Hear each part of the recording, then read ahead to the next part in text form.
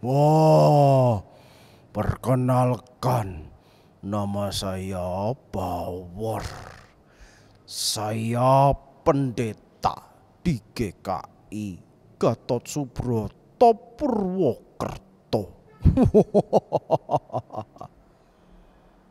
eh, ngawur. Yang pendeta aku, bukan kamu. Aduh, bawor, bawor. Salam Bapak Ibu. Perkenalkan, nama saya Adon Syukmana. Saya pendeta di GKI Gatot Subroto Purwokerto. Dan saat ini kita bersama-sama ada di dalam acara Sapaan Gembala GKI. Bapak Ibu yang dikasih Tuhan, kota Purwokerto mempunyai sebuah simbol yaitu Bawor. Salah satu dari tokoh punakawan dalam pewayangan. Bapak Ibu, tokoh Bawor ini sangat menarik. Kalau Bapak Ibu lihat bentuknya, perutnya buncit, matanya menjoto, melotot hampir keluar. Dan mulutnya lebar, bahkan terkesan hampir sobek. Bawor ini orang yang digambarkan ngomongnya belak-belakan. Ngomongnya nggak pakai rem, ngomongnya nggak tedeng aling-aling.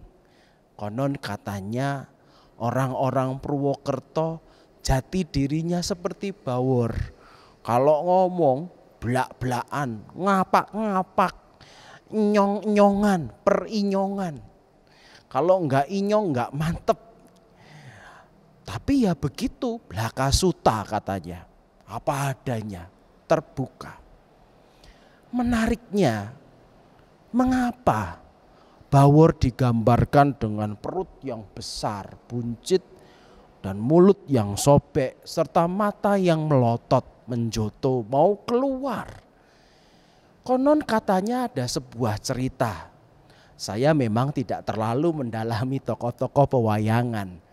Tapi yang saya bisa ceritakan, hal ini terjadi karena Bawor ini ingin menunjukkan jati dirinya. Bawor jelek-jelek begini ternyata adalah titisan dari dewa. Orang tidak percaya kalau dia itu adalah titisan dewa. Karena dia ingin menunjukkan kesaktian dirinya, maka dia memaksakan untuk memakan gunung mempertunjukkan kepada banyak orang bahwa dia adalah sakti. Dan ternyata apa yang terjadi? Begitu dia buka mulutnya, dia ingin melahap gunung itu, mulutnya sampai sobek, lalu gunungnya masuk ke dalam perutnya, perutnya besar sekali dan dia kalau orang Jawa bilang keloloten sampai matanya mau keluar hanya untuk membuktikan jati dirinya yang adalah dewa. Bapak Ibu yang dikasih Tuhan, di dalam 1 Yohanes 3 ayat 10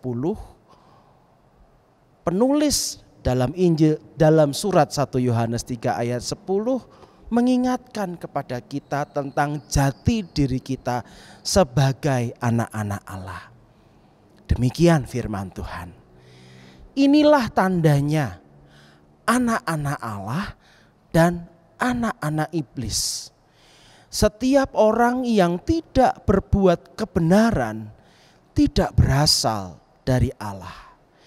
Demikian juga barang siapa yang tidak mengasihi saudaranya. Bapak Ibu yang dikasih Tuhan, penulis satu Yohanes ini kitab 1 Yohanes ini sungguh membuat kita mengingatkan kepada kita tentang siapa kita. Jati diri seorang Kristen tidak ditentukan ketika kita membela kekristenan.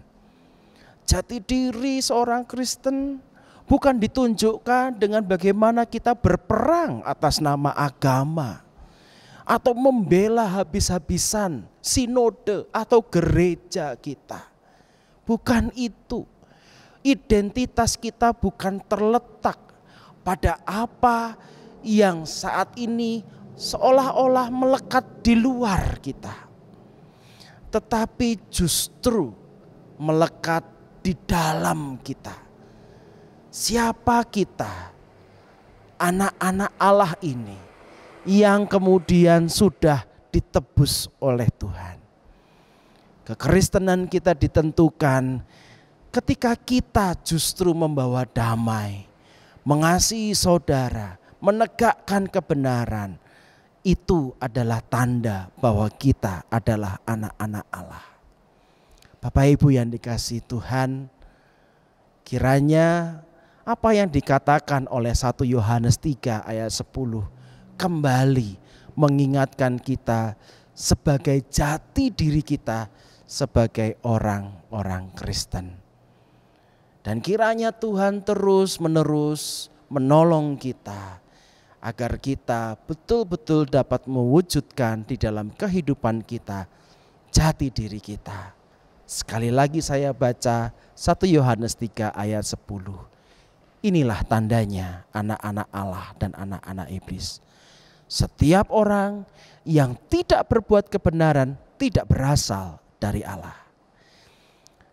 Demikian juga barang siapa yang tidak mengasihi saudaranya. Bapak Ibu, demikianlah firman Tuhan pada hari ini. Mari kita bersama-sama berdoa. Bapa yang bertahta dalam kerajaan sorga, kami bersyukur kami ini diingatkan tentang siapa kami siapa seharusnya anak-anak Allah ini. Kami diingatkan bahwa sebagai anak-anak Allah, kami seharusnya berbuat kebenaran. Kami seharusnya mengasihi saudara kami. Sebagai anak-anak Allah, kami justru bukan saling menentang, saling bertentangan satu dengan yang lain hanya karena status agama kami atau status gereja kami Ampuni kami ya Tuhan. Karena sebagai anak-anak Allah mungkin kami justru tidak membawa damai, tidak membawa berkat. Ya Tuhan, mampukan kami sesuai dengan jati diri kami sebagai anak-anak Allah. Kami dapat terus-menerus mengasihi Tuhan melalui saudara kami. Terima kasih ya Tuhan. Inilah doa kami di dalam nama Tuhan kami Yesus Kristus kami berdoa.